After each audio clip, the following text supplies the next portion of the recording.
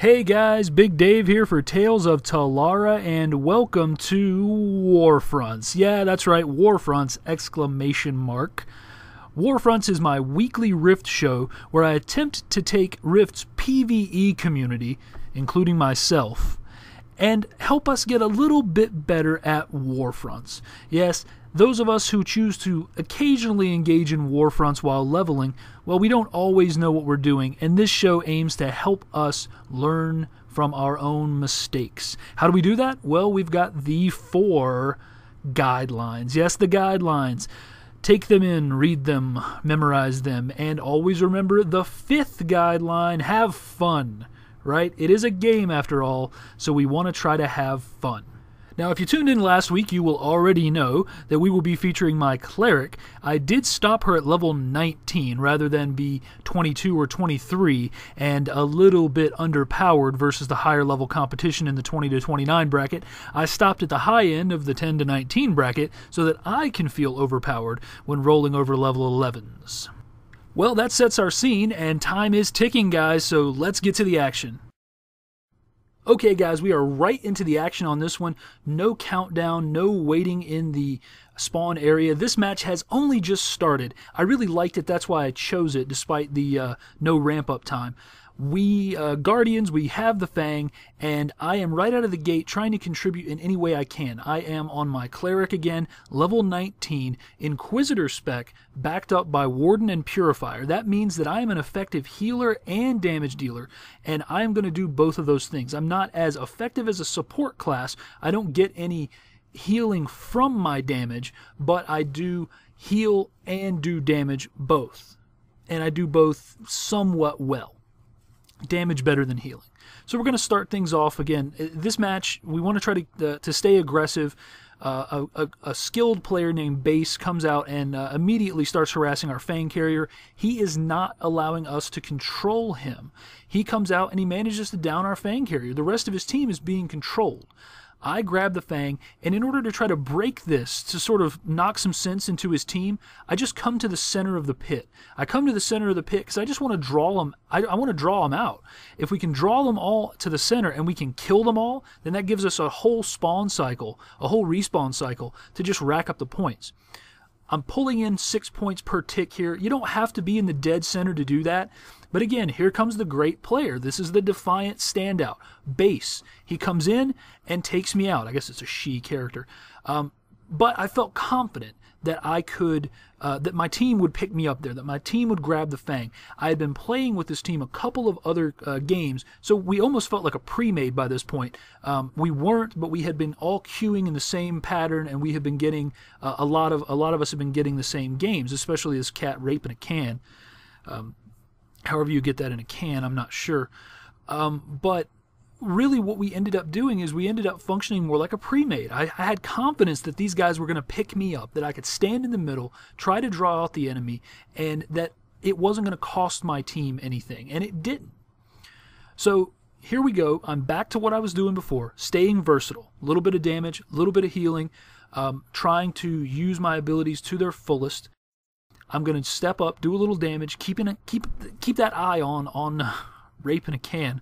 And uh, immediately, here he is again. Base. Base is back. And Base is going to town on our flag carrier. Base is clearly a skilled player trapped on a very, very bad team.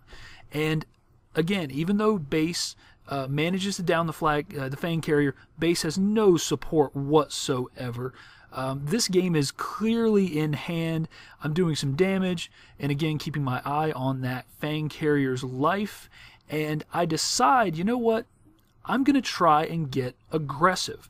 I drop one more uh, heal on the Fang Carrier, and I go out to attempt to control as many of these players as I can, these guys that are hanging around here. I want to try to round them up and control them so that we can secure the victory. Here, myself and another player, we gather up about four guys, and we control these four guys. We keep them far away from our Fang carrier. We get them right into the trap that we want them into, and this is typical of this team. I mean, this team that we were up against was not uh, were, clearly they were not viewers of my videos because they were doing all the wrong things, uh, allowing themselves to be controlled, uh, not concentrating on the fang carrier, not moving towards the goals, and consequently, we are victorious.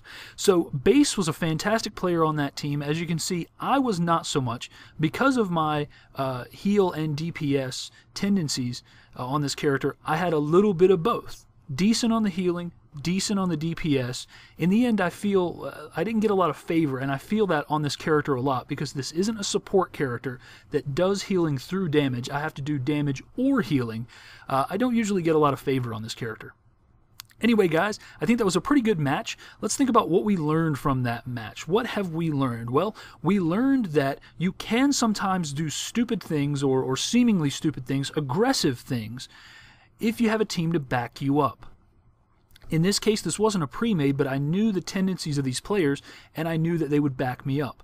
What else did we learn? We learned that a single player does not a team make. That player base was very good. He could put out some severe damage and down the Fang Carrier twice on his own. But in the end, without more people to support him, he wasn't effective.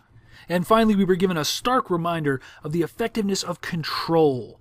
That Defiant team allowed themselves to be controlled, with, with the exception, of course, of Base, who I highlighted throughout the video. That Defiant team lost that game the moment that they didn't engage, that they didn't move forward, and that they accepted the battle on our terms. That's the moment they lost. It doesn't matter what the score was at that moment. The moment that they accepted our terms for battle, they lost and that makes you ineffective and that makes you controlled. Base knew that, the rest of the team didn't. Okay, now let's talk about next week. Next week, we are going to break up the monotony. We are going to break up the Black Garden Fest that we've been having in the first four episodes of this show, and we are going to take my level 39 Necro Mage into Whitefall Steps. That's right, we're going to go into Whitefall Steps, the capture the flag style warfront. Are you ready? I don't know if I am because I don't know if I've ever really had a good game in Whitefall Steps, but we are going to try it. That's my level 39 Necromancer Mage Whitefall Steps next week, level 39, level 39. I just realized I'm still level 39. I've been level 39 on that character for four weeks. Thank you, Warfronts. You distract me in all my free playing time. but I enjoy it. So, guys, next week, Mage, level 39, Whitefall Steps, into a new battleground. Excuse me, Warfront. Did I just call it a battleground on the show called Warfronts? I did. All right, guys.